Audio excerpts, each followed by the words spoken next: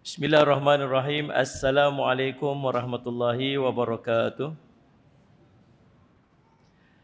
Alhamdulillahi rabbil alamin wassalatu wassalamu ala rasulil amin. Sayyidina Muhammadin wa ala alihi wa sahbihi ajma'in. Subhanaka la ilma lana illa ma 'allamtana innaka antal alimul hakim. Rabbi syrah li sadri wa yassir li amri wa hlul 'uqdatam min lisani yafqahu qawli. Bismillah ma syaa Allah la yasuqul khaira illa Allah ma syaa Allah. La yasrifu su'a illa Allah ma syaa Allah. Ma kana min ni'matin fa min Allah ma syaa Allah wa la haula wa la quwwata illa billah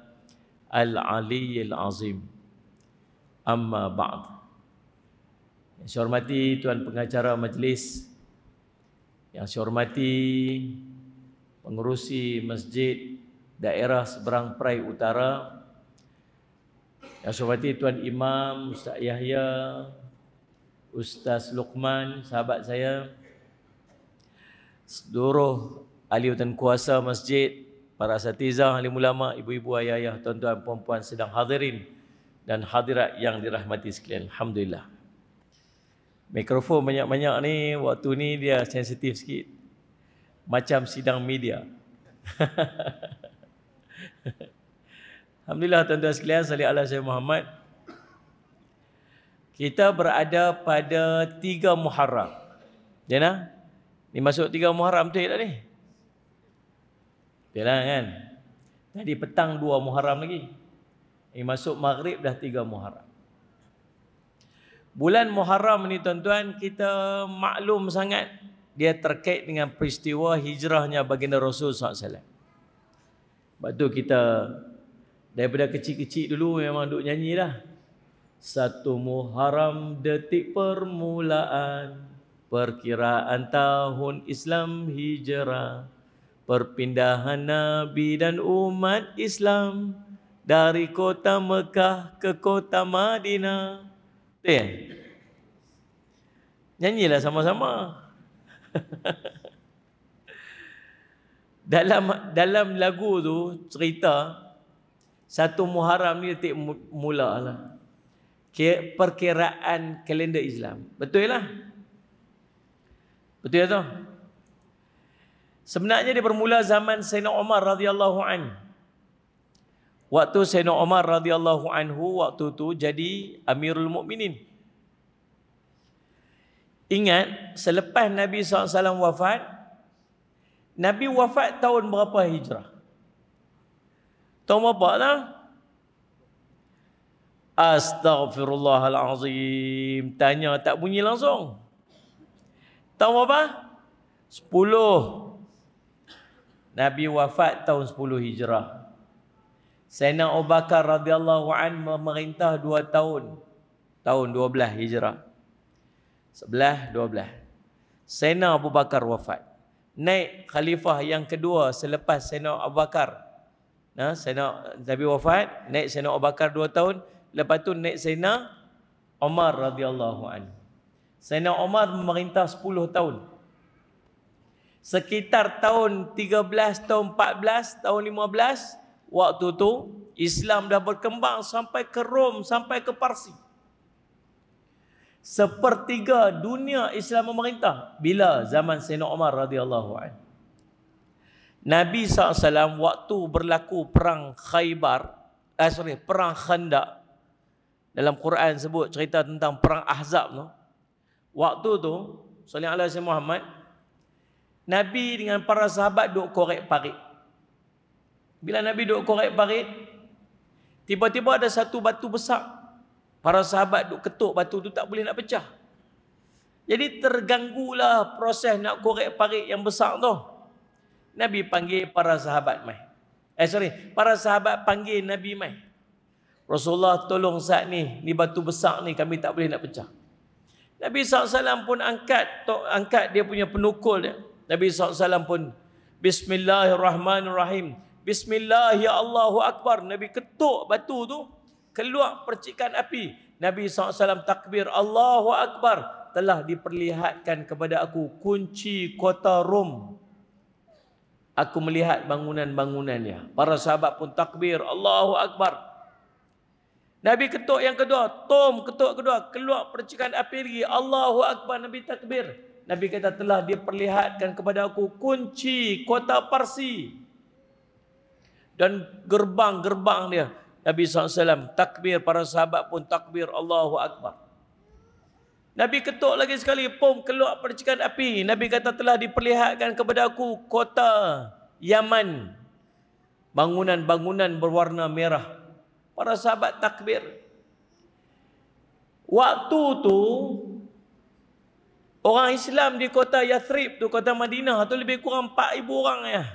3,000 orang yang pi masuk dalam peperangan. Nak pi perang dengan musuh yang nak main 10,000 bala tentera. Ada 10,000 bala tentera yang nak main serang Madinah. Orang munafik pakat lari sembunyi. Tuan-tuan, alaihi Muhammad. Tiba-tiba Nabi kata apa? Ni satu hari nanti kita akan buka kota Parsi kita akan buka kota Rom. Rom dengan Parsi waktu itu merupakan kuasa besar dunia. Macam Amerika dengan China tu. Tak boleh bayang tak? Ni kata nak pilihan raya ni kata ni kan cerita politik. Contoh. Katalah yang akan bertanding tempat kita ni. Dia kata apa? Kalau saya menang nanti kita akan tawan Amerika syarikat. Tuan-tuan agak. Tuan-tuan nak undi dia tak? Kalau saya menang nanti, kita akan tawan negara China. Saya ingat tuan-tuan, hilang deposit kawan tu. Tak logik ngakai. Zaman Nabi SAW, orang Islam ada lebih kurang 4,000 orang ya. Yang nak main serang tu ada 10,000 yang nak main ni. Nabi kata, kita akan buka kota Rom. Tapi para sahabat ni beriman. Nabi kata confirm betul. Sebab Nabi SAW takkan cakap saja kecuali dia wahyu. Para sahabat oh, takbir Allahu Akbar.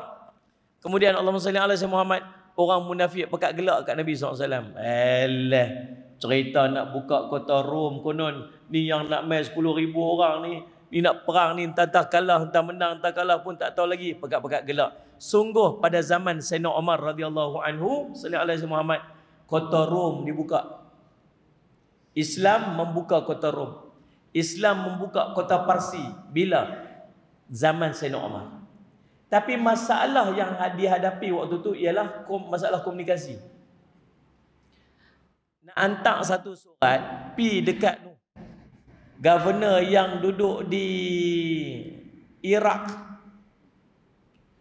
Salih alaihi Muhammad. Perjalanan ambil masa 3 4 bulan. Satu surat nak hantar dekat Salih Azim Muhammad governor yang duduk kat Iraq tu 4 bulan baru sampai. Arahan bertarikh satu safar. Sampai sampai kat sana governor ni tengok ni surat ni satu safar nak kena buat.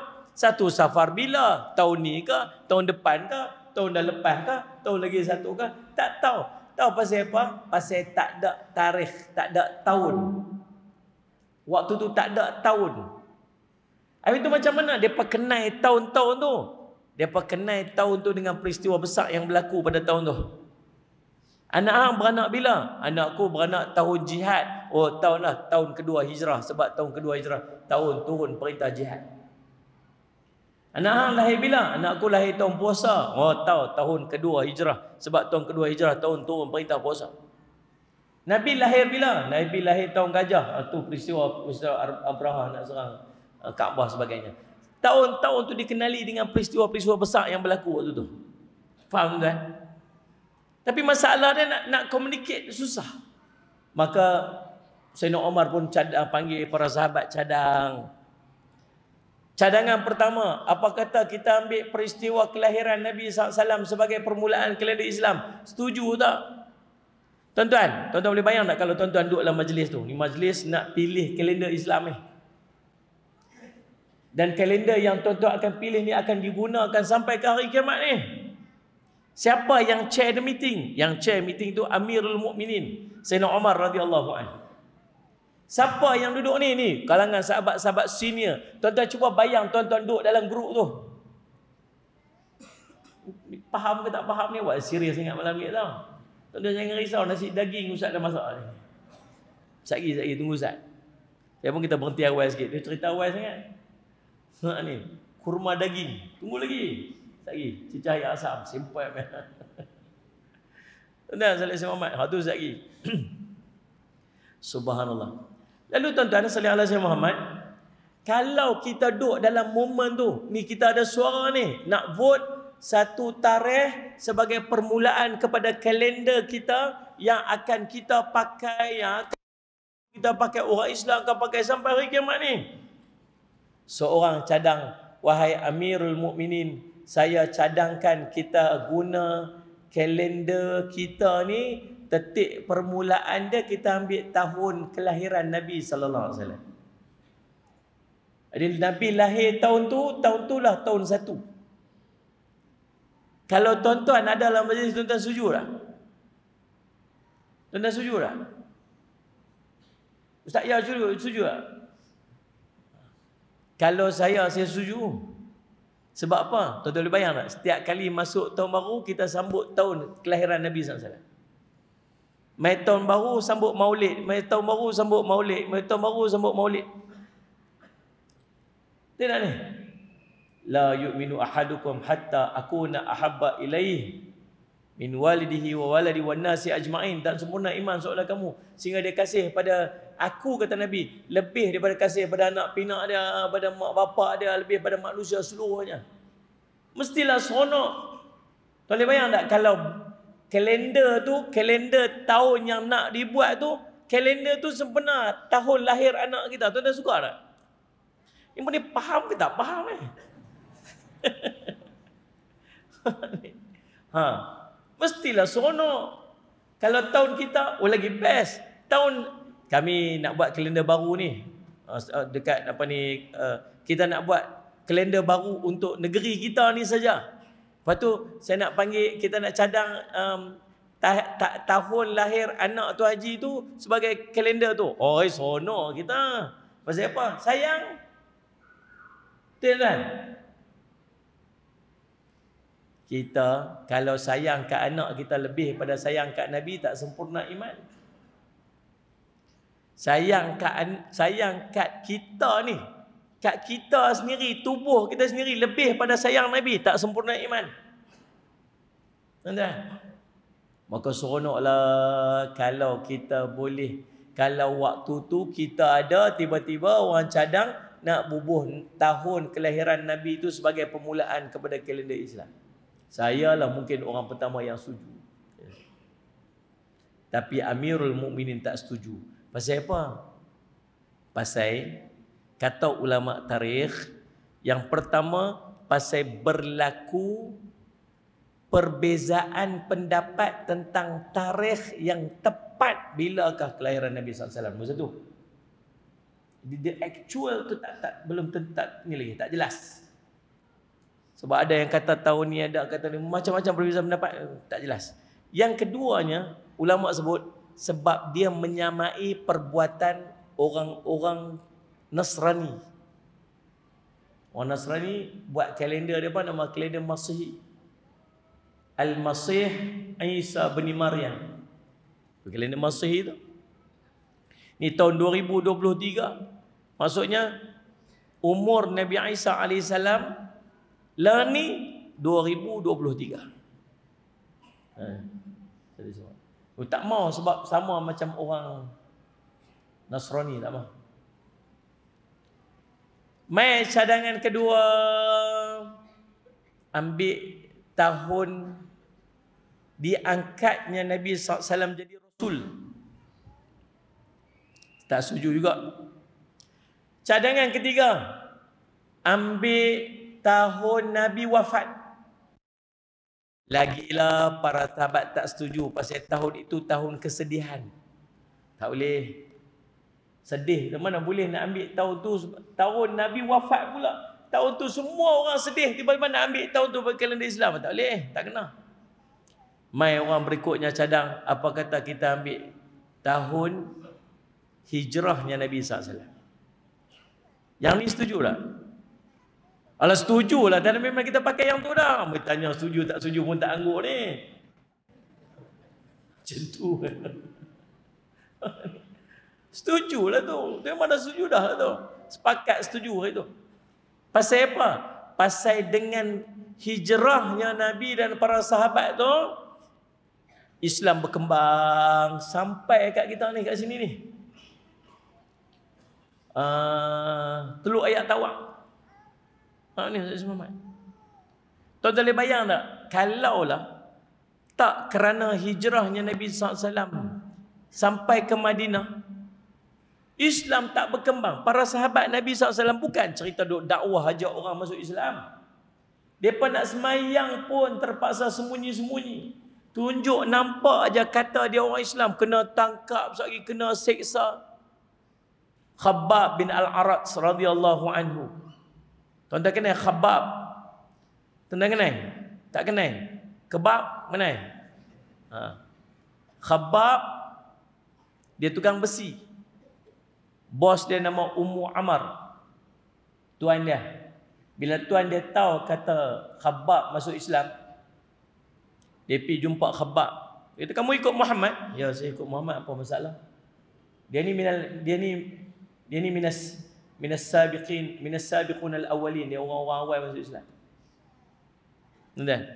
Waktu tu orang macam yang masuk Islam ni mau orang miskin, orang orang apa dia panggil apa hamba-hamba tu. Kita apa apa masalah kan saya masuk Islam, eh, saya ikut Muhammad masalah apa? Masalah apa? Dia ambil besi yang tengah merah tengah duk bakar tu, letak atas kepala khabar ni. Tak berasak kepala dia jatuh pingsan. Tak cukup dengan tu, dia pun panggil kumpulan-kumpulan pemuda-pemuda ni berimpun buat berapa orang orang Islam yang ikut Muhammad. Ha, hampa 10 orang ambil orang ni. Hampa 10 orang ambil orang ni. Hampa 10 orang ni. Hampa seksa dia bah.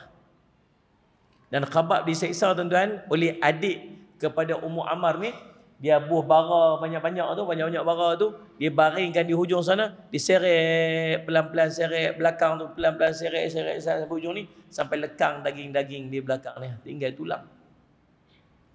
Khabab al-Aras. Bila? Sebelum hijrah.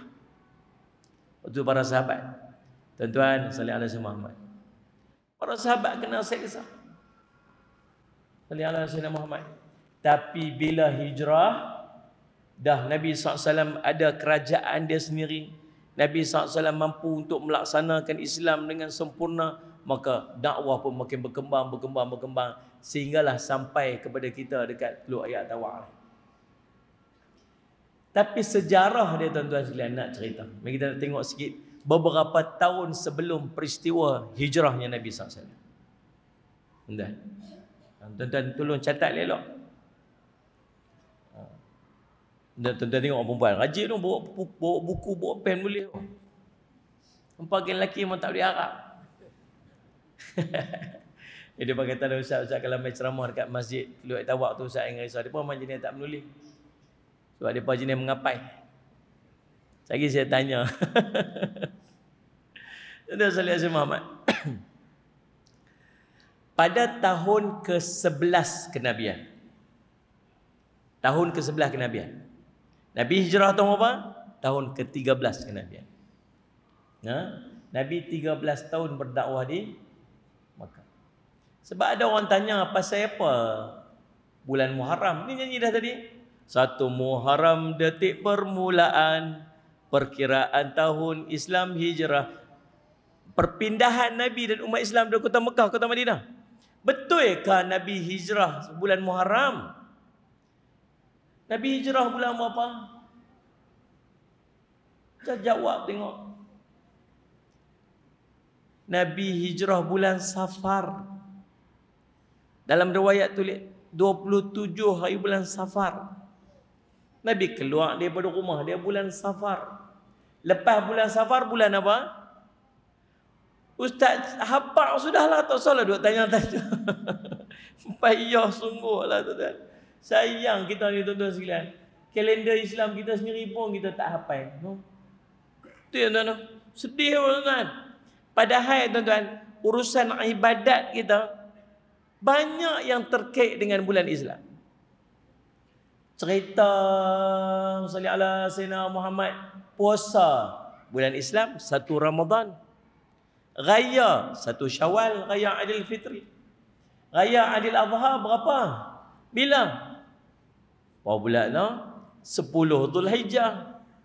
Hari Arafah berimpun seluruh umat Islam di di satu tempat nama Arafah untuk menunaikan haji. Al-Hajjul Arafah, haji itu Arafah tu berimpun tu. Bila berimpun hari Arafah tu? 9 Zulhijjah. Salih alaihi Muhammad. Bila melontak Aqabah? Melontak kubra kepada orang yang melaksana haji? 10 Zulhijjah. Melontak tiga jamrah bila? 11, 12, 13. Kalau nafar awal berhenti tang 12 buat nafar thani berhenti tang 13. Betul ke saya kan nak kena kursus haji lagi sekali kan? Betul kan? Ni bukan 7 bukan 13 Julai. Bukan 10 Julai, tak. 10 Muharram, hari Ashura disunatkan kepada kita puasa. Yukaffirus sanah madiyah. Allah sallallahu Muhammad Allah akan mengampunkan dosa kita setahun yang lepas. Bila? Hari Ashura. Hari Ashura berapa hari bulan? Sepuluh hari bulan. Sepuluh hari bulan apa? Muharram. Bukan Ogos. Betul tuan?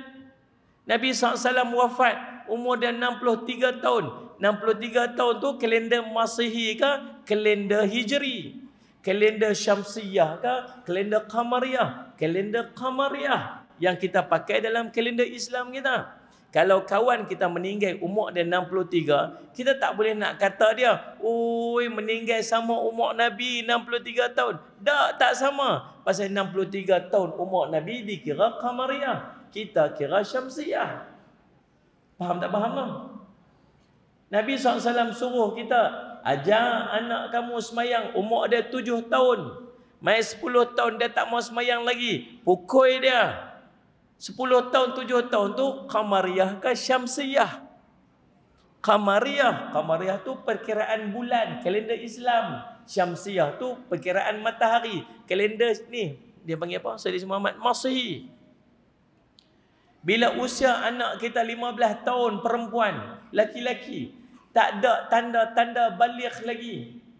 Haid pun tak turun yang perempuan. Sallallahu alaihi Muhammad. Yang laki-laki apa? uh, mimpi pun tak pernah lagi. Tanya dia, abang mimpi tak lagi ni? Suara duk kecil lagi, umur dah berapa belah dah ni? Mimpi apa ya? Kawan dia semua duk suara besar dah. Apa? Media duk mimpi apa ya? Mimpi lah mimpi. Mimpi apa? Mimpi Ultraman kah? Dia main umur 15, hang mimpi ke tak mimpi ke, main haid ke tak main haid ke, sudah dikira balik syamsiah ke qamariyah qamariyah nasi sumat. Ni nak puasa putih. Tak puasa putih puasa hari putih. Bila puasa hari putih? Bila? Nu tanya game belakang ni pak rajin puasa. Betul tak Muslimat? Mau tengok anggur kemas Nampak? Balok sopa aku kak. Yang orang lelaki dengan puasa memang tak boleh harap. Tapi orang perempuan rajin puasa. Hari putih berapa hari bulan? 13, 14, 15. 15 apa? Bulan Islam. Bukan bulan Qamariyah. Bukan Syamsiah. Maksudnya banyak urusan ibadat kita yang terkait dengan kalender kita sendiri. Tapi kita pun tak tahu kalender kita sendiri. 10 Julai boleh perasan. Hari ni 20 berapa Julai? 22 Julai betul kan? Belum, belum. 20 bulan Julai. Esok 21. Esok pergi Terengganu pula. 20 hari bulan Julai, tuan-tuan sekalian, saya cemat. Laju saja. Muharram, tiga Muharram. Yalah baru tiga hari ingatlah. Cuma tengah-tengah tu, tuan-tuan. Selalu kita terlepas. Terlepas 13 hari bulan. Terlepas 14, 15 hari bulan. Terlepas 10 hari bulan. Eh, hang tak puasa ke Ashura hari tu? hari Ashura bubuk sorak tahu lah. Hari Asyura tak puasa. Lah bila? Lah terlepas dah tiga hari lepas. Lah pasal apa kita terlepas? Sebab kita tak guna. Kita tak guna. Sayang tuan-tuan lah. Salih Muhammad. Jadi tuan-tuan subhanallah salih Muhammad. Nabi SAW keluar daripada rumahnya pada bulan Safar. Nabi SAW sampai di Yathrib pada hari pada bulan Rabiul Awal pada 12 Rabiul Awal sama macam tahun ataupun hari kelahiran Nabi sallallahu alaihi wasallam. Ingat tu elok. Habis tu mana mai Muharramnya? Pasal apa bulan Muharram? Dua pendapat. Eh, tuan-tuan ni ilmu juga. Dua pendapat. Pasal apa dipilih bulan Muharram? Tiga pendapat. Pendapat yang pertama, memang tahun tu permulaan tahun dia Muharram dah. Daripada dulu lagi walaupun apa saja nama tahun tu memang awal tahun dia Muharram dah. Sebab nama tu memang dah ada sebelum-sebelum lagi dah. Muharram Safar Rabiul Awal Rabiul Akhir, betul? Nyanyilah Muharram Safar Rabiul Awal Rabiul Akhir Jamadil Awal Jamadil Akhir Rajab Syaban Ramadan. Okay. Cuba jangan menyanyi. Muharram Safar Rabiul Awal Rabiul Akhir Tahiyat Awal saya akhir. ni ni. Allah jam saya Muhammad. Tu tak suruh patah balik tu, patah balik lagi jam. Allahumma salli ala sayyidina Muhammad. Dan Jadi salli ala Muhammad. Nabi SAW sampai pada bulan Rabiul Awal. Yang pertama pasal apa? Pasal orang kata, saya semua ulama sebut, memang permulaan kepada kalender dia pada bulan Muharram. Yang keduanya, salih alaihi Muhammad, pendapat ulama menyebutkan bahawa subhanallah salih alaihi Muhammad ada yang mencadangkan bulan Ramadan. Ramadan tak boleh terlalu sibuk. Sibuk dengan ibadat. Masuk bulan kemudian-kemudian, oh sampai kemuncak dia bulan Zulhijjah, bulan haji. Lepas bulan haji, reda semua urusan ibadat, kita mula kalender kita pada bulan Muharram. Ha, jadi dah clear dah usaha ibadat besar-besar sampai dah haji ke puncak dia, ah, bulan Muharram tu eloklah start fresh balik. Start balik Muharram, Safar, Rabiul Awal, Rabiul masuk sampai Ramadan, Zulkaidah, Zulhijjah, er, uh, Ramadan, Syawal, mula start Rejab, Rejab dah mula start sibuk dah ni. Rejab, Syaban, Ramadan, Syawal, Zulkaidah, Zulhijjah ke puncak dia, ada start balik. Lepas tu start tenang balik Muharram, Safar, Rabiul Awal macam tu. Faham tak ni? Pendapat ketiga. Ini yang di antara pendapat yang kuat. Kenapa dipilih Muharram? Sebab memang walaupun Nabi SAW berhijrah pada bulan Safar, tetapi perancangan Nabi telah pun bermula pada bulan Muharram. Nabi dah start merancang untuk berpindah tu berhijrah tu bulan Muharram lagi. Sebab lepas Muharram jadi Safar. Ha, saya Muhammad. Pasal apa Nabi rancang pada bulan Muharram? Sebab peristiwa Bayatul Aqabah.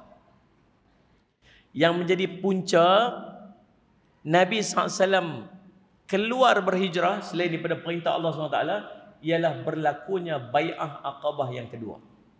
Yang ni yang saya nak bincang malam ni. Pada tahun ke-11 hijrah, eh 11 kenabian.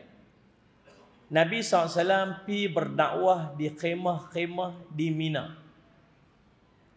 Mina ni tuan-tuan, tempat orang-orang melaksanakan ibadat haji duduk bermabit. Lihatlah. Kita ni jemaah Malaysia khemah jauh dekat dengan terowong apa? Terowong apa? Allahumma salli ala Sayyidina Muhammad. Terowong apa? 3.5 km Nabi tahu. Siapa-siapa siapa dah pergi haji dah? Ya, betul tak ni? 3.5 km berjalan pi dekat Jamrah patah balik 3.5. Sekali pi 7 km berjalan. Tapi dengan orang ramai tu tak berasa. Seronok. Ya ni? Ha, saya selamat pi melontar jauh kita ni. Kita kena ingat, oh haji dah ada ke waktu Ustaz? Ada haji ini bermula pada zaman Nabi Nabi Ibrahim alaihissalam. Nabi Ibrahim, Nabi Ismail waktu tu dah ada perintah haji. Malaikat Jibril tunjuk kepada Nabi Ibrahim AS mana sikul hajj. Dia punya perjalanan haji itu apa proses nak buat. Salih alaihi Muhammad. Dan malaikat Jibril tunjuk juga. Sebab tu dia panggil Arafah. Tahu. Bila yang tahu? Bila malaikat Jibril pi tunjuk kat Nabi Ibrahim AS cara nak buat dia. Maka tempat tu dia panggil Arafah. Tahu maksudnya.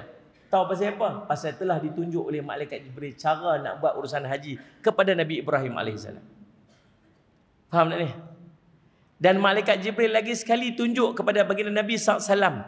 Nabi kita Muhammad SAW. Cara manasikul hajj, manasik haji tu kepada baginda Rasul SAW mengikut kepada syariat sempurna baginda Nabi SAW Nabi kita.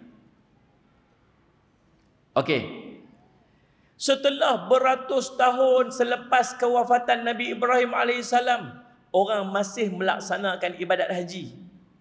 Tetapi telah mula dicemari dengan dimasukkan perkara-perkara mengarut ikut suka mereka apa mereka nak buat. Tuan-tuan dengar tak tentang macam mana orang duk pi tawaf telanjang? Dengar tak? Kita kita dengar cerita-cerita orang duk cerita dulu kan? Zaman musyrikin depa tawaf telanjang. Pasal apa tawaf telanjang? Tawaf telanjang ni tuan-tuan seorang syekh ngajak di Masjid Nabawi saya dengar penceritaan dan pengkisahan dia. Dia cerita yang jadi tawaf telanjang ni bukan semua orang tawaf telanjang. Tak. Orang-orang yang duduk luar daripada kota Mekah yang bukan daripada keturunan Quraisy bukan juga ahlul Makkah, depa ni dikira sebagai orang-orang kotor. Tak suci. Jadi depa nak masuk tawaf, depa kena pinjam pakaian-pakaian daripada orang-orang Quraisy. Kalau tak dapat pakaian ni, depa akan dipaksa untuk bertawaf telanjang sebab depa dikira sebagai orang kotor. Itu kisah dia. Di keliling Kaabah ada 360 berhala. Tu tak kira lagi Depa sembelih tuan-tuan sekalian, cuma depan Kaabah tu depa jadikan sebagai tempat penyembelihan korban-korban depa yang depa buat untuk berhala. Dan tempat ditakung darah tu di situlah sallallahu alaihi Muhammad telah diilhamkan kepada sallallahu alaihi Muhammad Tok Wan Nabi SAW untuk korek telaga telaga Zam-Zam tu yang telah dikambus oleh Puak Jurhum Ha, dulu zam-zam ada dah zaman Nabi Ismail AS tu kan. Mai ada satu puak nama puak Jurhum, dia duduk kat situ, depa dengan kedengkian depa depa kambuh telaga tu. Telaga tu dikorek balik oleh siapa? Oleh datuk Nabi sallallahu alaihi wasallam Abdul Muttalib dengan ilham Allah bagi ilham dekat dia tu tempat dituang darah korban tu. Tang tulah depa korek dan akhirnya dia bertemu dengan ayat Zam-Zam. Sampai kan bagi ni. Faham tuan-tuan?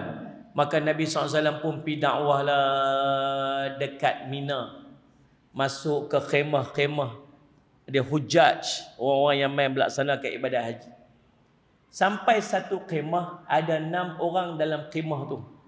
Dalam khemah tu tuan-tuan sekalian, mereka ni daripada suku Khadraj.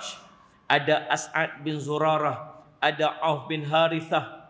Ada Rafi' bin uh, Malik bin Ajlan ada Quthah bin Amir Al-Hadidah, ada Uqbah bin Amir dan ada Jabir bin Abdullah bin Riyab.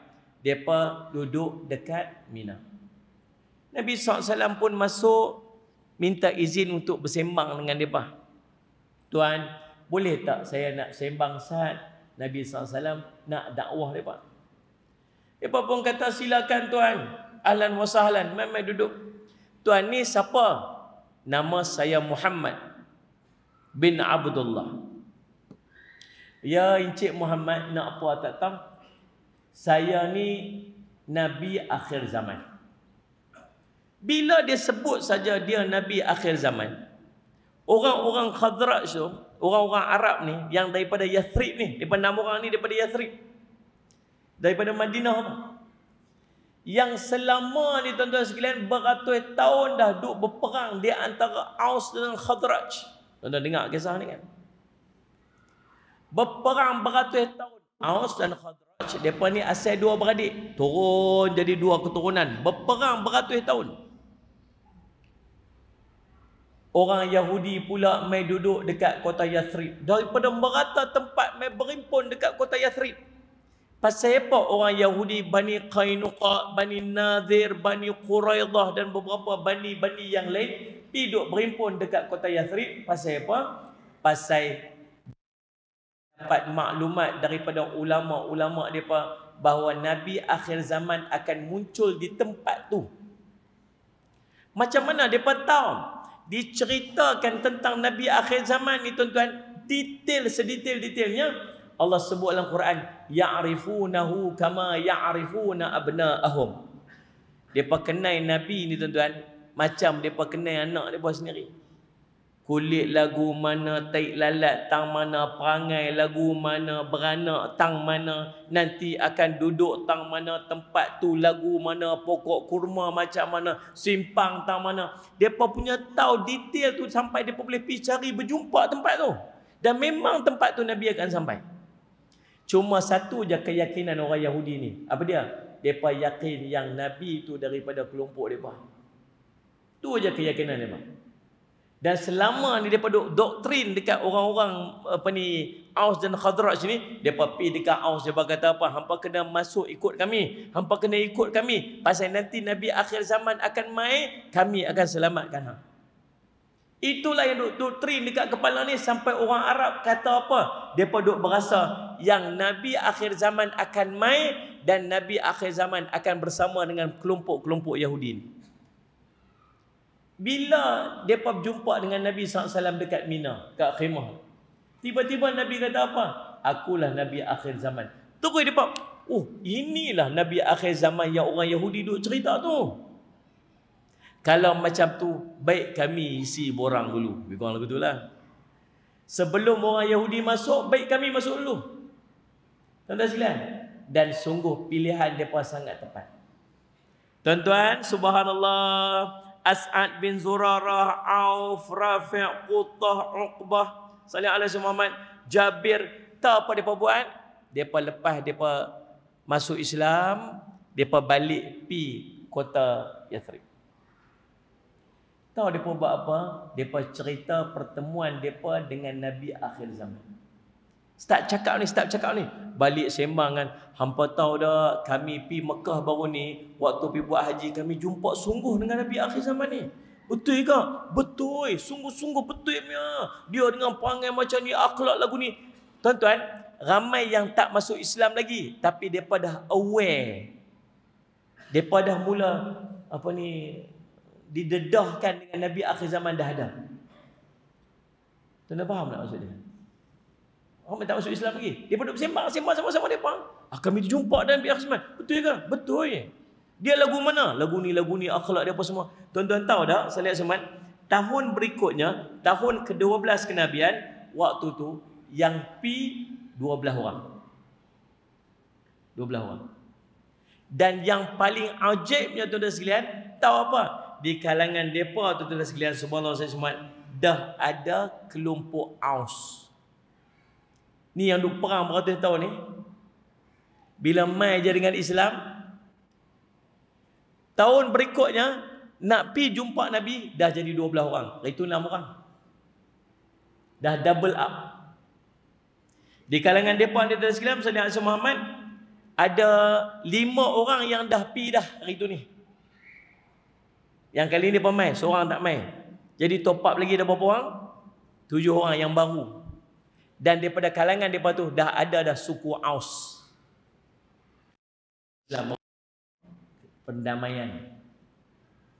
Tuan-tuan, dan bila berjumpa Nabi SAW malam tu tuan-tuan sekalian, itulah berlakulah perjanjian Aqabah yang pertama. Dengar kisah dia.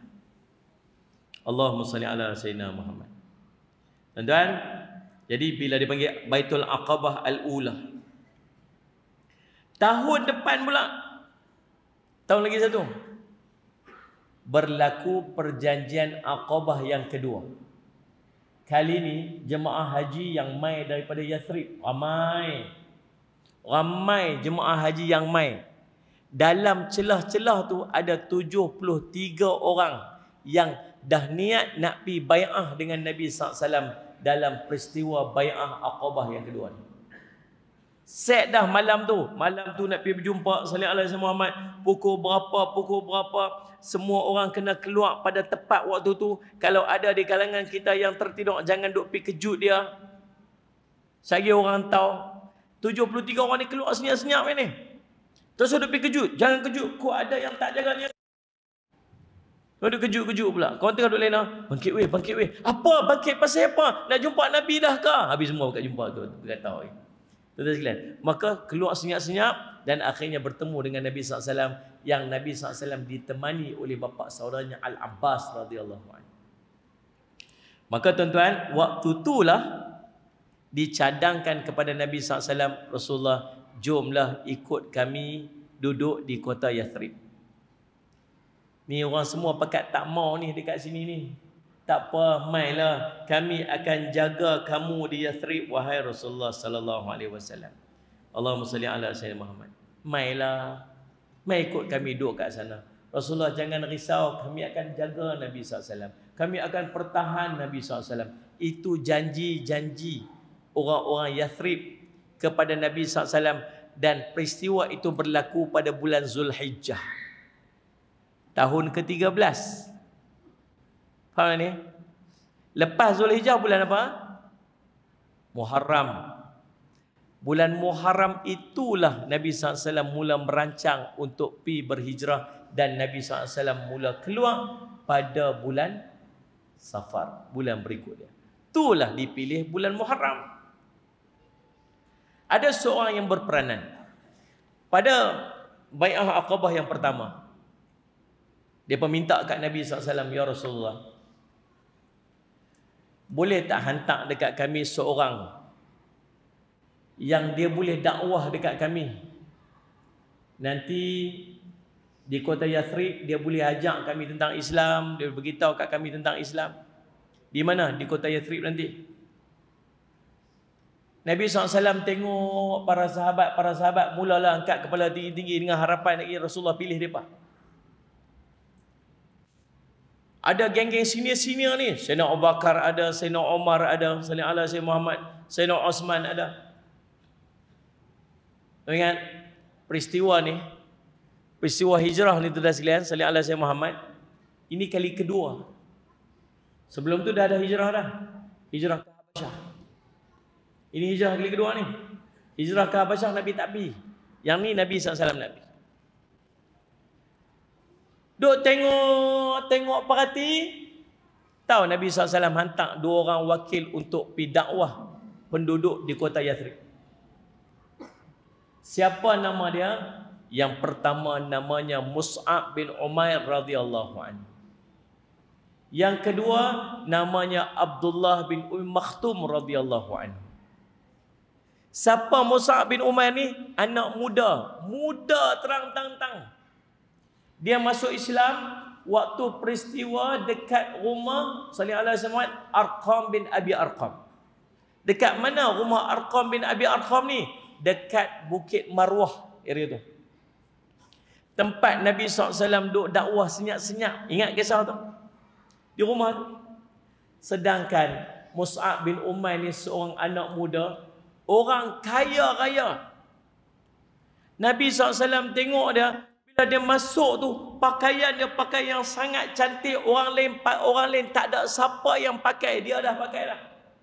Minyak wangi yang dia pakai tu sangat wangi. Tak ada siapa mampu pakai minyak wangi yang dia pakai tu. Kalau cerita iPhone tu dia iPhone seorang yang pakai orang lain tak pakai lagi lah memang terror punya. Tuan-tuan dia masuk Islam.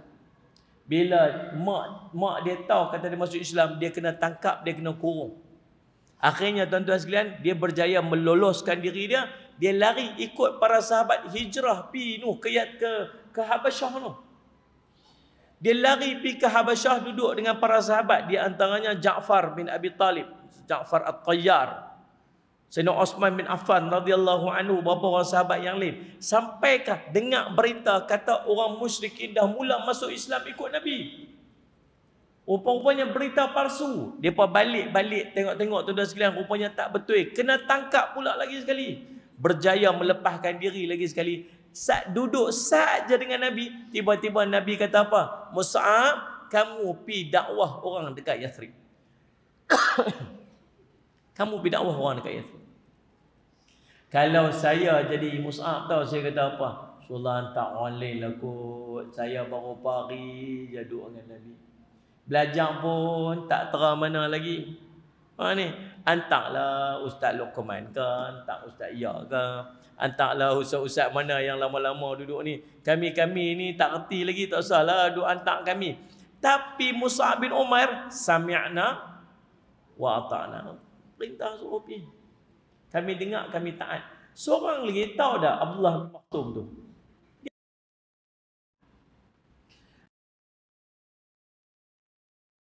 Abasa wa tawalla an ja'ahu al-a'ma wa ma yudrika la'allahu yadhakka aw yadhakkaru fatanfa'ahu adh-dhikra. Segan nak baca lebih malu kat Ustaz Luqman Kami duduk mengaji sama-sama dulu Quran kat sebelah saya. Dia selalu duduk mengaji sebelah saya. Saya mengaji Quran dia mengaji qiraat. Ha, lain tu. Ha, lain. Semat terror tu. Tuan. Tu, surah Abasa tu turun pasal dia. Surah Abasa tu turun pasal dia. Waktu dia nak minta, dia nak tanya Nabi soalan, tiba Nabi duk sibuk dengan duk dakwah kepada orang-orang pemimpin-pemimpin Quraisy. Allah tegur Nabi SAW dengan dua abai tu, orang buta yang duk dengar. Dialah. Seronok dia ayat Quran turun tentang dia. Hantar dua orang. Seorang muda yang duduk sat dengan Nabi SAW. Seorang lagi orang buta. Hantar pergi dakwah dekat orang-orang di Yathrib. Sampai-sampai kat sana. Mus'ab duduk dengan As'ad bin Zurarah radhiyallahu anhu. Ini satu kisah. Seronok cerita kat tuan-tuan. Cuma nampak tuan-tuan teruk dah ni. Menyakar nampak. Tuan-tuan sekalian Muhammad. Boleh lagi ke ni? Boleh lah. Boleh lah. Pukul 9. Tunggu pukul 10 lagi tu. Dan salih ala Muhammad. Mus'ab bin Umair duduk di rumah As'ad bin Zurarah radhiyallahu anhu. As'ad bin Zurarah ni dia jadi penunjuk arah. Ha, ni rumah ni, dia ni siapa-siapa-siapa ni. Oh ni rumah tu Mulu. Ha, dia penunjuk arah. Oh ni kampung ni, kampung ni nama sekian-sekian. Ha, ni. Satu hari Musa bin Umair dan As'ad bin Zurara duduk di satu tempat ada macam telaga. Adalah berapa orang yang duduk dengar Sayyidina Musa duduk cerita tentang Islam. Di hujung kampung sana ada satu pertemuan masyarakat. Ada dua pimpinan tempat tu seorang nama dia Sa'ad bin Mu'az radhiyallahu an. Waktu tu dia belum Islam lagi. Dia ni pemimpin nombor satu. Ada orang kanan dia. Orang kanan dia nama Usaid bin Khudair radhiyallahu an. Waktu tu juga belum Islam. Dua orang ni memang terornya. Depa ni memang orang paling tinggi sekali dalam masyarakat tu. Orang sangat terhormat. Tiba-tiba Sa'ad bin Mu'az kata dekat Usaid bin Khudir. Dia kata, wahai Usaid, weh. Hang pi tengok Sa'ad tu, anak menakan aku tu. As'ad bin Zurrah tu nak menakan dia. Hang pi tengok Sa'ad anak menakan aku tu, dia bawa budak mana mai kat sini. Duk cerita tentang agama apa. Duk mai pecah belah masyarakat kat sini. Yang kawan tu bergaduh dengan kawan ni, kawan ni bergaduh dengan tu pasal depan ni. Yang mak dengan anak, apak dengan anak semua jadi putih saudara, putih anak beranak semua pasal depan. Kalaulah bukan pasal dia tu anak menakan aku, aku pergi settle sendiri. Tapi pasal dia anak menakan aku, sehari orang kata apa pula? Dan ni hang tolong pergi settle saat wahai Usaid bin Hudair. Ha, saya tukar mai bahasa Penang. Uh, tu kan orang Zabi ni sikit belum berlimpah. Dia kata, hang tolong pergi settle. Kalau tak pasal dia tu anak melakang aku, kubah sendiri dah. Hang tolong pergi. Usaid bin Hudai pun capai tombak dia. Jalan pergi. Jalan, jalan, jalan, jalan. Yang Mus'ab bin Umair dengan As'ab bin Durrah ni duduk. Tahu-tahu nampak duk berjalan mai. Kata As'ab bin Dhurrah, Mus'ab, tu. Siapa? Tu. Dia tu tu. Gangster jangan main-main. Dia tu hang cakap baik-baik dengan dia. Dia tu kalau dia masuk Islam, habis satu kampung dia masuk Islam. Cuma apa? Cuma kena cakap elok dengan dia.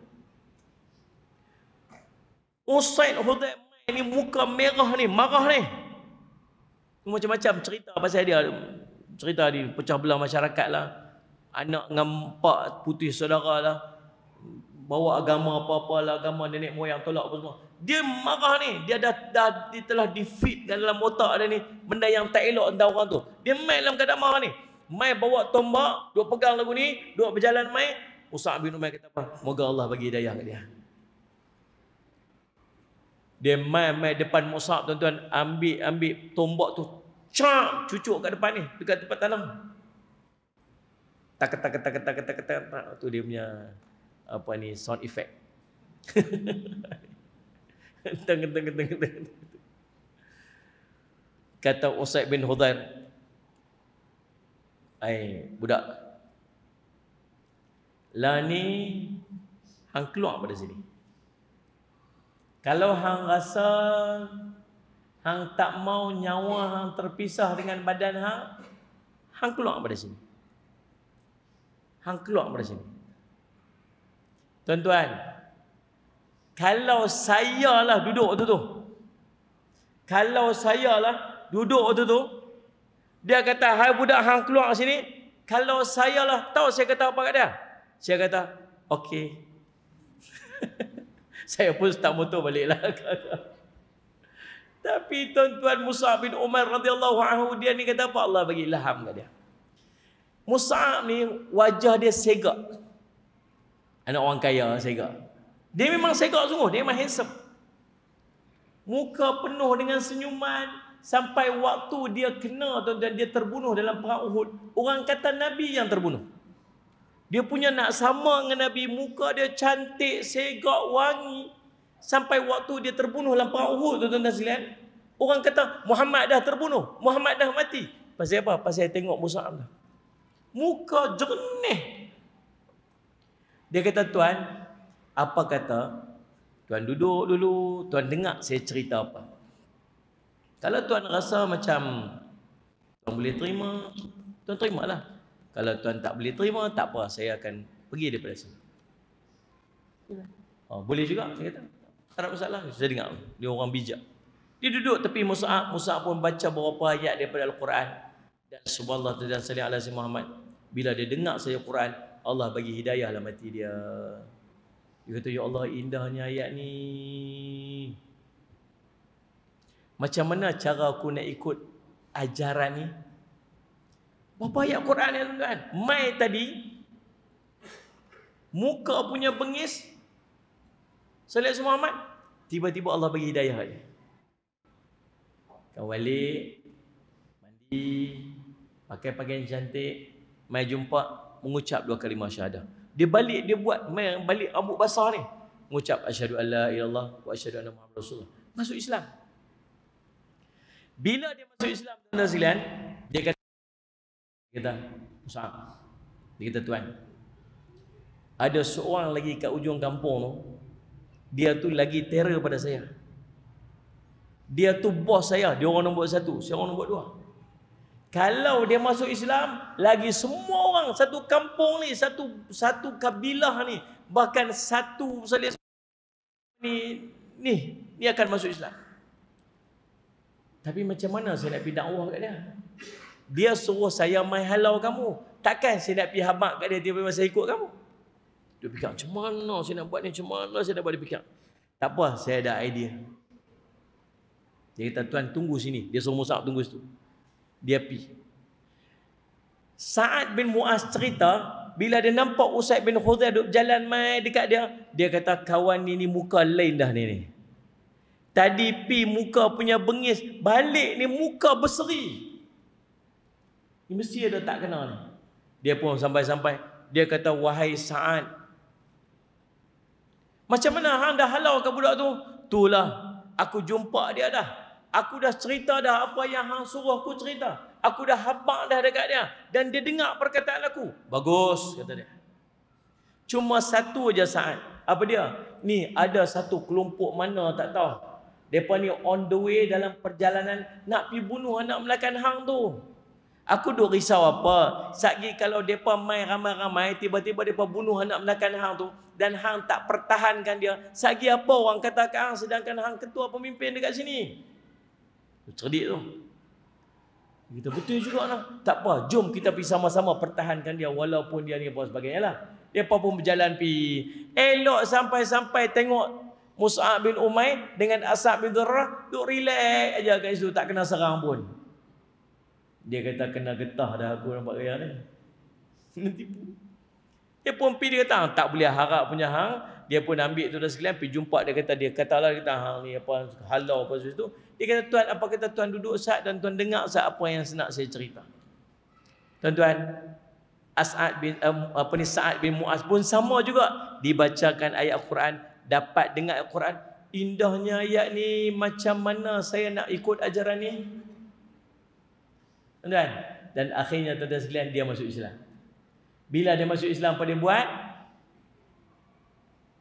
Pi perkim dulu ke? Pi daftar dulu cari kad ke? Tak tuan-tuan. Pi masuk mengaji dulu ke? Tak. Dia kata apa? Nu kat sana ada kaum saya sedang menunggu. Tuan tunggu saat dekat sini. Dia pi kat kaum dia, kaum dia sedang duduk berhimpun tu tadi daripada pagi tadi ni, duduk berhimpun, dia naik atas pentas tempat tinggi, dia kata wahai kaumku sekalian, apa pendapat kamu tentang aku? Eh tuan orang yang baik, tuan orang yang bijaksana, kami ikut segala apa yang tuan cakap dan tuan tak pernah melakukan kerosakan kepada kami. Hari ini aku masuk Islam. Aku mengucap dua kalimat syahadah dan aku perintah kepada kamu semua untuk masuk Islam.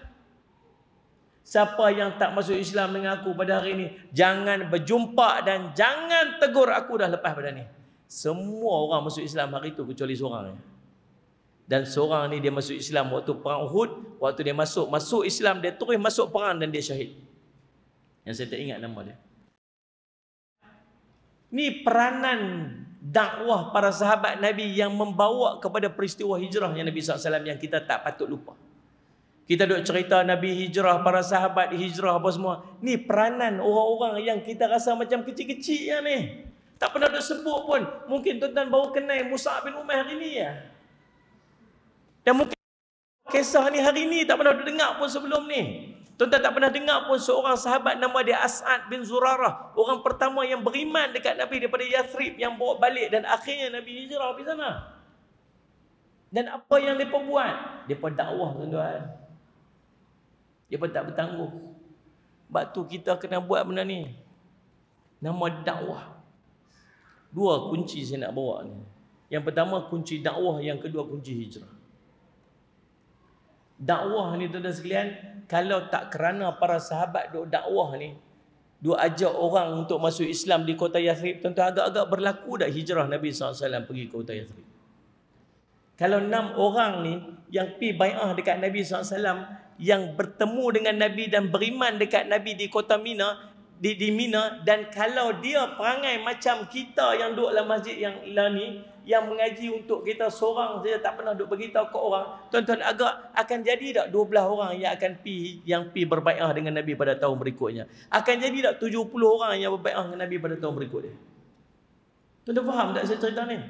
Kita mengaji berapa lama dah tuan-tuan duduk dekat masjid SPU ni? Dan berapa banyak dah ilmu yang kita belajar? Dan mungkin satu pun ilmu tak sampai ke orang melengah kat kita seorang eh.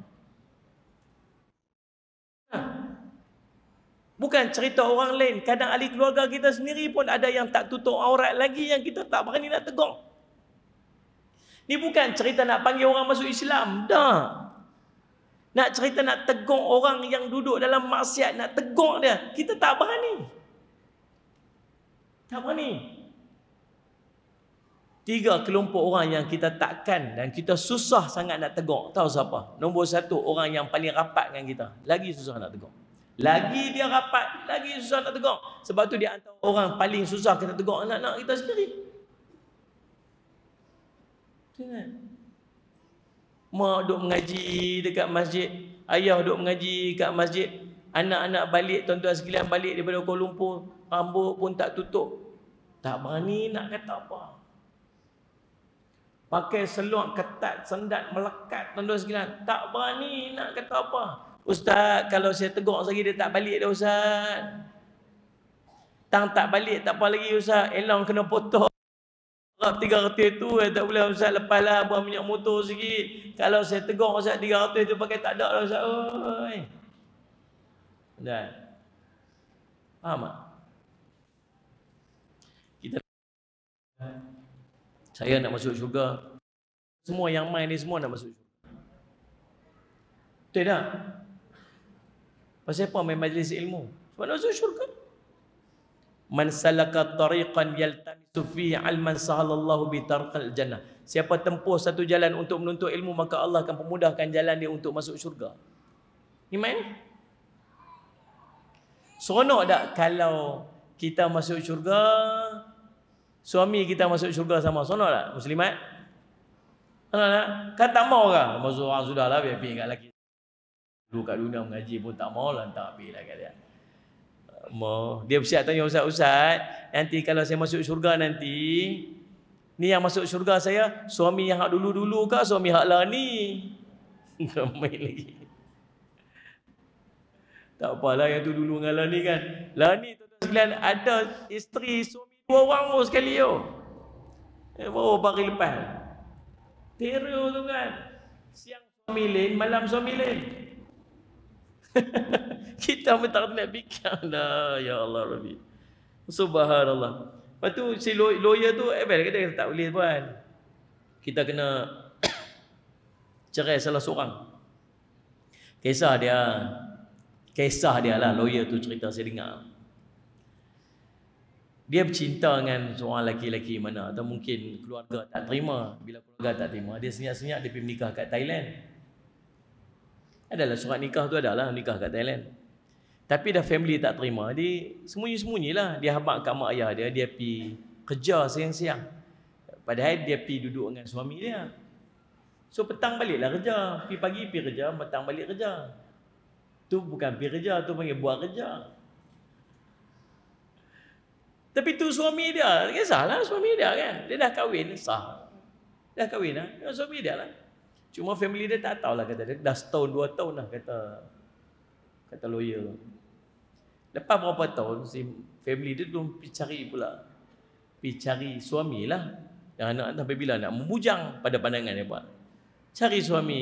Cari-cari suami ni orang berada sikit apa semua.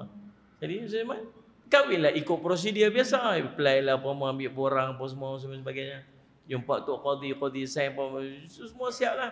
Akhirnya menikah. Bila menikah, buat kenuri lah. Kawan ni dah real-real punya. Dah ikut legal punya kenuri. Buat kenuri lah, buat majlis. Bila buat majlis, dapat sampailah kepada pengetahuan si suami dia yang saya tu. Bila tahu kata yang tu dah, dah isteri dia kahwin lagi satu. Hujan juga lah isteri kahwin lagi satu. isteri dia kahwin lagi satu. Dia bawa surat nikah dia tu, pi dekat pejabat agama, tunjuk kata perempuan ni dah kahwin dengan saya ni surat nikah ni. Nanti kelas soalan.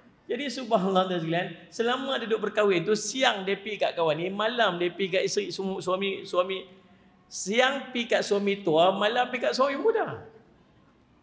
Itu yang dia buat. Subhanallah. Maka kata lawyer ni tak boleh puan. Puan kena pilih salah seorang. Dia kata saya tak pilih salah seorang sebab saya sayang kedua-duanya. Tak jam keren gitu. Sebab dia kata dia suka dua-dua sekali. Dia buat macam mana boleh buang salah seorang? Tak boleh. Kita tak boleh. Kena ambil salah seorang. Awak tak boleh. Geng lelaki boleh. Jam kat kita nak jawab kan. Tuan-tuan semua Allah Dia tak kata lagu tu lah tu saya tambah lah yang geng lelaki boleh tu. Tak tahu lah tuan-tuan tapi nak cerita tu lah fitnah. Dan kata lawyer tu tuan-tuan. Benda ni bukan benda baru. Benda ni dah banyak jadilah masyarakat kita. Cuma kita ya tak tahu. Yang ni tertahu. Pasal apa yang jadi tertahu tu? Pasal suami dia tu pi bocorkan rahsia kata dia pada perkahwinan. Kes tak puas hatinya pasal. Sedangkan dia kata banyak kes-kes yang dah berlaku sekian lama terutama orang-orang yang mai kerja duduk kat sini dia asal daripada negara lain ataupun asal daripada tempat lain. Tempat lain tu dia dah ada suami dah Tapi duduk kat sini dah sekian lama, suami duduk jauh, kahwin lagi seorang kat sini. Dan so, fitnah akhir zaman dia boleh jadi macam tu. Ini pasal apa yang cerita kahwin ni pun tak tahu? Ni? Subhanallah, tuan-tuan. Nak cerita benda maksiat duk jadi keliling kita tapi kita tak berani tegur. Nak masuk syurga? Masuk syurga? Seronok kalau kita masuk syurga, kita masuk syurga, suami kita masuk syurga sekali. Isteri masuk syurga, pegang tangan suami. Suami masuk syurga, pegang tangan isteri. Dua-dua masuk syurga. Seronok tak?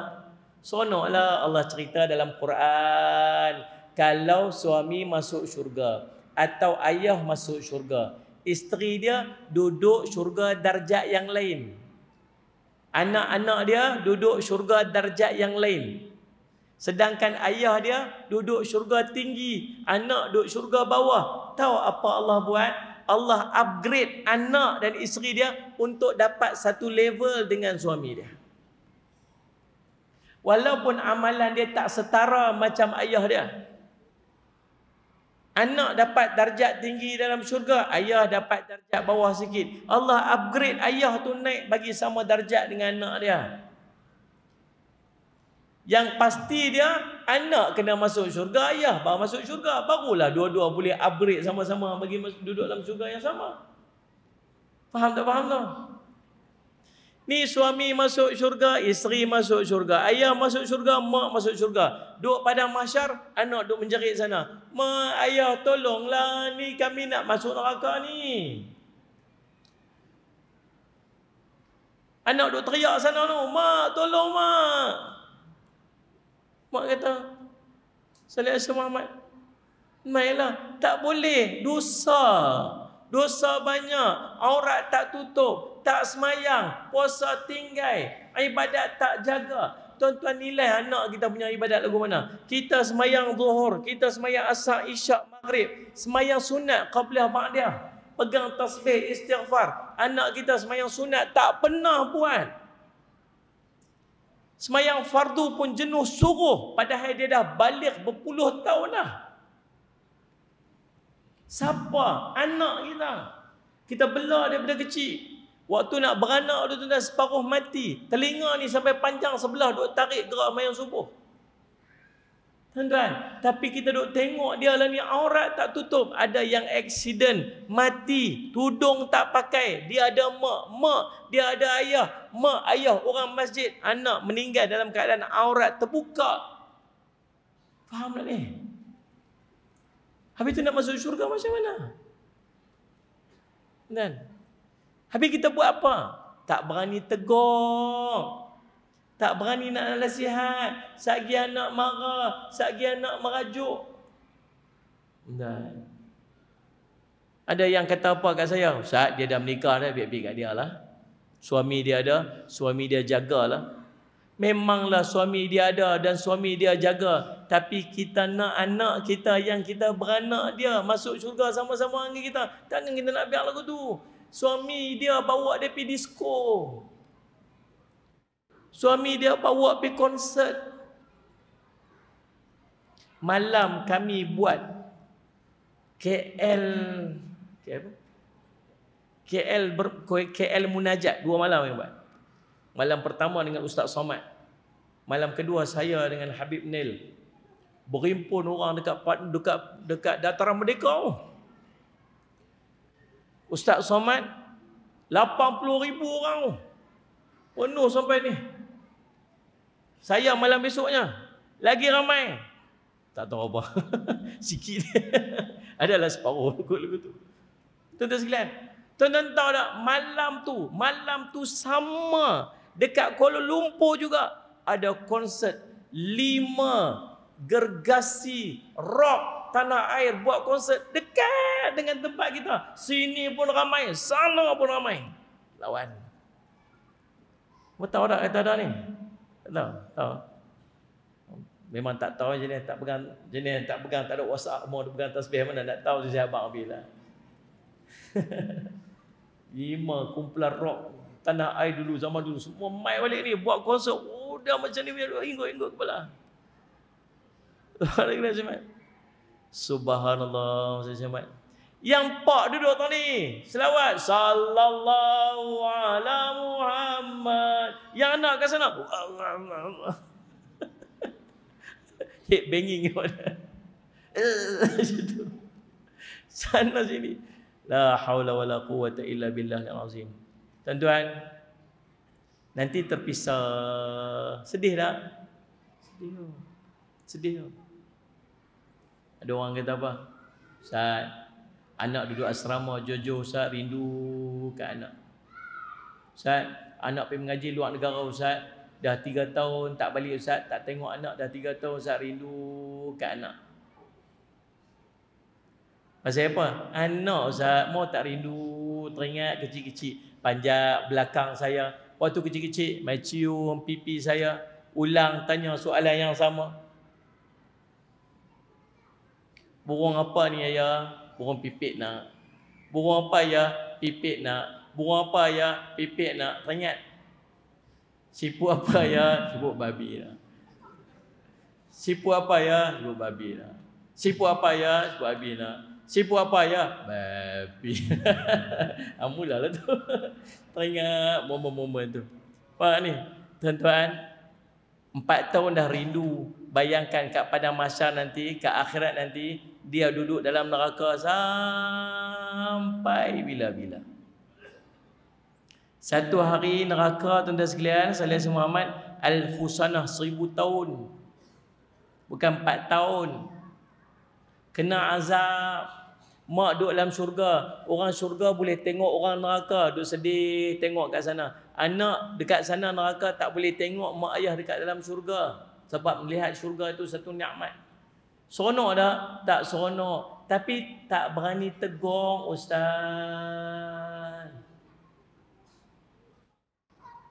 Alhamdulillah Dia cerita orang ni. Tu saya jiran sebelah. Tu saya kawan pejabat. Yang pi depan Allah nanti dia kata apa? Ya Allah, ni kawan saya ni duk pi masjid SPU tu ulang alik tak berhenti-berhenti. Tiap-tiap hari duk pi tiap-tiap hari duk pi mengaji. Kami jiran sebelah ni aurat tak tutup pekat kena masuk neraka. Ni kami nak kena masuk neraka ni pasal maklum ni lah Ustaz. Ya Allah ni. Tunjuk kita.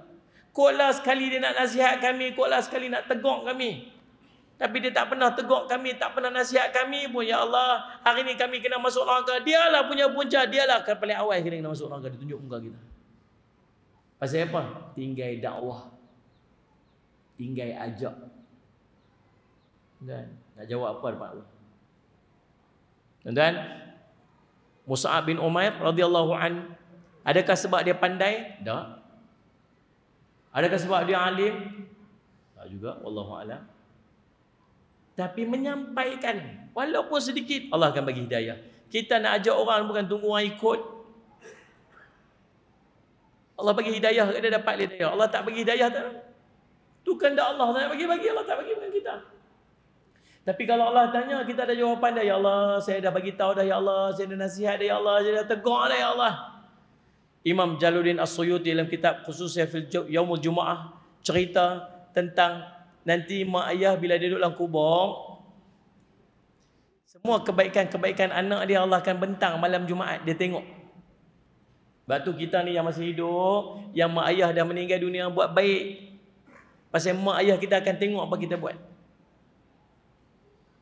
Allah bentang ni bentang ni dia nampak mak ayah kita seronok ya Allah anak aku subhanallah dia pergi mengaji malam ni Ya Allah anak aku dia pergi kuliah. Ya Allah seronoknya. Dah sembilan setengah pun tak balik-balik lagi. Tak habis kuliah lagi. Contoh. Maksudnya semua. Tuan, mak ayah kita akan tengok dia gembira. Dia seronok. Tapi ingat dosa maksiat kita pun akan dibentangkan dekat dia. Bila kita buat baik, dia seronok, dia dapat manfaat. Sebab apa? Sebab dia berjaya mendidik kita jadi baik. Man dala ala khair falahu mithlu ajri fa'ili siapa tunjuk satu benda kebaikan maka pahala bagi seperti mana dia melakukan. Seronok dia dapat. Tapi dosa maksiat kita buat pun mak ayah kita menangis kat dalam kubur ya Allah buatlah anak aku buat macam ni Dia tak tengok apa yang aku nampak kat sini. Dia tak tahu apa yang orang jadi kat dalam kubur ni.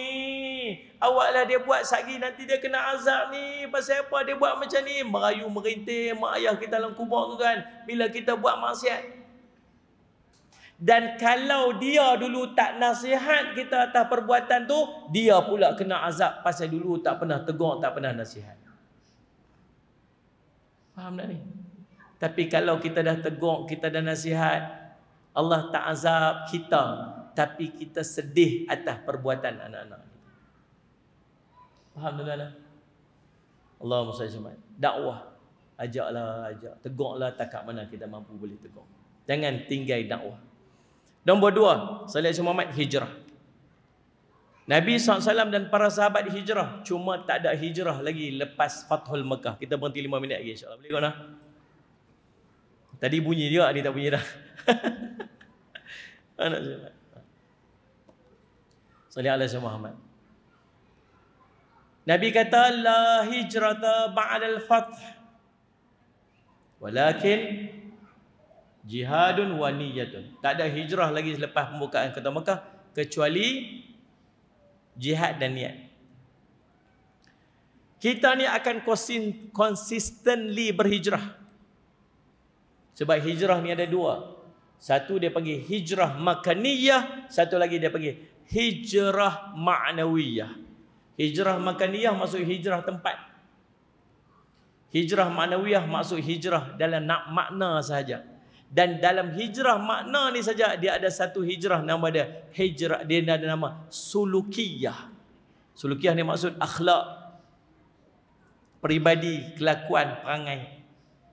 Dan kita sentiasa kena berubah jadi lebih baik dalam perangai kita. Setiap hari kena berubah jadi baik. Kena berubah jadi baik.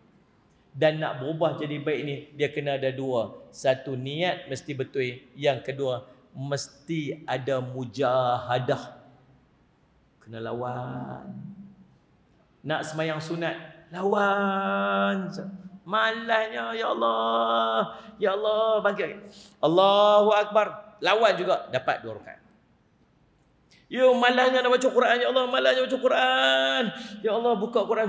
Bismillahirrahmanirrahim. Alif lam mim dzalikal kitabul la raiba fi hudal lil muttaqin.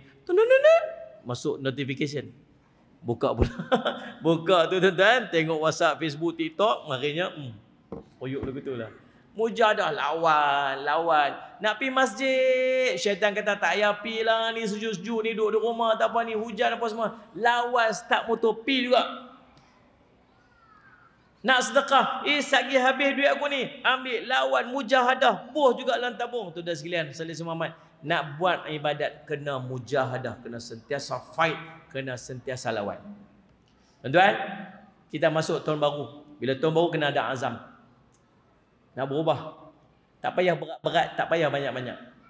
Tambah bagi ada lebih sikit daripada yang sebelum. Kalau tuan-tuan masih belum lagi istiqamah dengan solat tahajud, start esok nak kena start buat dua rakaat tahajud. Kalau dah biasa buat dua dah, tambah lagi dua semayang taubat atau semayang hajat. Bagi jadi empat. Quran nak kena tambah satu muka surat.